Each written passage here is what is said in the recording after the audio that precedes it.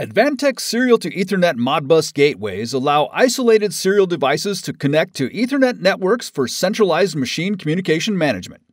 These Modbus gateways provide easy integration of Modbus TCP and RTU networks.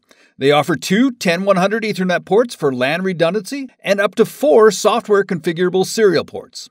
In Modbus client mode, up to 16 peer connections are supported per port, and in server mode, up to 32 can be handled, offering a convenient way to consolidate serial data from numerous sources. Users can quickly set up the gateway through a simple, user friendly web interface.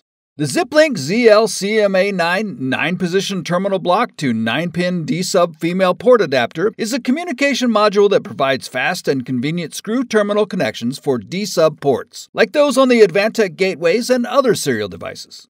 Simplify your communication projects with these and thousands of other innovative products at automationdirect.com.